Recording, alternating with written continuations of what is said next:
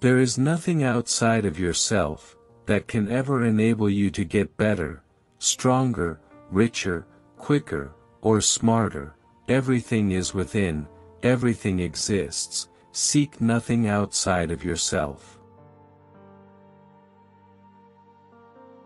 Think lightly of yourself, and deeply of the world. You must understand that, there is more than one path, to the top of the mountain. Do nothing, that is of no use. The ultimate aim of martial arts, is not having to use them. If you wish to control others, you must first control yourself. You can only fight the way you practice. From one thing, know 10,000 things. It is difficult to understand the universe, if you only study one planet. Today is victory over yourself of yesterday, tomorrow is your victory over lesser men. Perceive, that which cannot be seen, with the eye. Get beyond love and grief, exist for the good of man. Do not regret, what you have done. In battle, if you make your opponent flinch, you have already won. All men are the same, except for their belief, in their own selves, regardless of what others may think of them. If you do not control the enemy, the enemy will control you. Do not sleep under a roof, carry no money or food, go alone to places frightening to the common brand of men, become a criminal of purpose, be put in jail, and extricate yourself by your own wisdom. If you know the way broadly, you will see it in everything. Perception is strong and sight weak. In strategy, it is important to see distant things as, if they were close and to take a distanced view of close things. You should not have any special fondness, for a particular weapon, or anything else, for that matter, too much is the same as not enough, without imitating anyone else, you should have as much weaponry as suits you. The only reason a warrior is alive is to fight, and the only reason a warrior fights is to win. Respect Buddha and the gods, without counting on their help. The important thing in strategy is, to suppress the enemy's useful actions, but allow his useless actions. The true science of martial arts means, practicing them in such a way that, they will be useful at any time, and to teach them in such a way, that they will be useful in all things. To become the enemy, see yourself as the enemy of the enemy. You may abandon your own body, but you must preserve your honor. Under the sword lifted high, there is hell making you tremble, but go ahead, and you have the land of bliss. Know your enemy, know his sword. When you decide to attack, keep calm and dash in quickly, forestalling the enemy, attack with a feeling of constantly crushing the enemy, from first to last. No man is invincible, and therefore no man can fully understand that, which would make him invincible.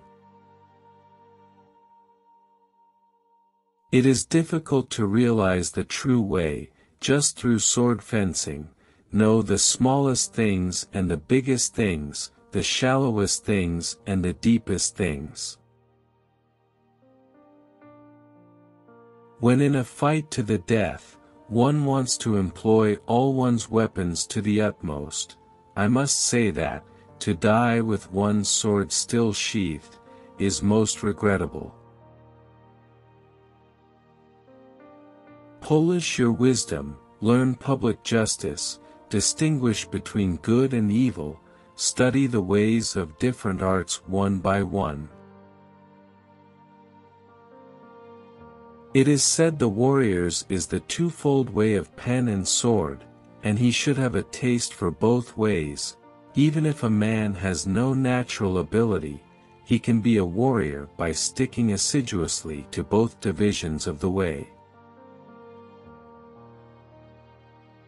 A man cannot understand the art, he is studying, if he only looks for the end result without taking the time, to delve deeply into the reasoning of the study. Develop intuitive judgment, and understanding for everything. Whatever the way, the master of strategy does not appear fast. When your opponent is hurrying recklessly, you must act contrarily and keep calm, you must not be influenced by the opponent. Truth is not what you want it to be, it is what it is, and you must bend to its power or live a lie. A bullet from a gun does not make a distinction between practice and combat, you are training to be one, and the same way in your life. A thousand days of training to develop, ten thousand days of training to polish, you must examine all this well. Immature strategy, is the cause of grief. You should not have a favorite weapon, to become over-familiar with one weapon, is as much a fault, as not knowing it sufficiently well. When you attack the enemy, your spirit must go to the extent of pulling the stakes out of a wall, and using them as spears and halberds. If you are not progressing along the true way, a slight twist in the mind can become a major twist, this must be pondered well. Nobody is strong, and nobody is weak, if he conceives of the body, from the head to the sole of the foot, as a unity in which a living mind circulates everywhere equally. Though you give up your life, do not give up your honor. In strategy, it is important to see distant things, as if they were close, and to take a distanced view of close things.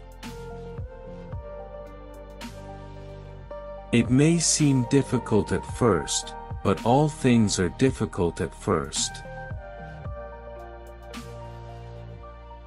This is a truth, when you sacrifice your life, you must make fullest use of your weaponry, it is false not to do so, and to die with a weapon yet undrawn. In strategy, it is necessary to treat training, as part of normal life with your spirit unchanging. The sword has to be more than a simple weapon, it has to be an answer to life's questions. Generally speaking, the way of the warrior, is resolute acceptance of death. It is necessary to know 10,000 things, by knowing one well, if you are to practice the way of strategy, nothing must escape your eyes, 54 Reflect well on this.